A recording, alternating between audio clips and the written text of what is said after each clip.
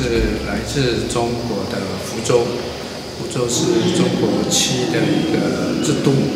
I'm from Fuzhou, China, um, and Fuzhou is famous for the lacquer art.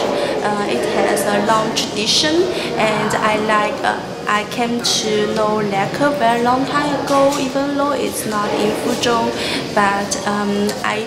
Um, plan to stay in Fuzhou because uh, Fuzhou has the long tradition of lacquer. That's uh, what uh, what attracted me to there, and I now is living there, and I do my uh, art uh, creation there. Uh, and what I'm doing now is all the things you see here is about the daily life, um, everything you can you can to see here is about uh, is the things you can use in a daily life. 所以在作品上都不是单一媒材，但是呢，每一个作品都有用到大漆这个。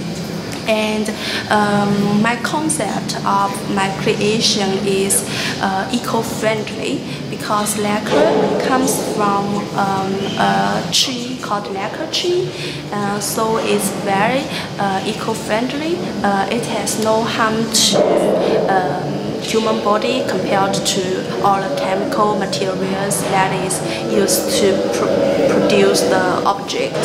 Um, so lacquer can also create a very um, beautiful um, effect on the object you see here um, and that is uh, why I decided to use all the things with lacquer even though the uh, things you see here is not um, not only made by lacquer, but it combines with different kind of materials like the bamboo and silver and other things, but mostly is wood.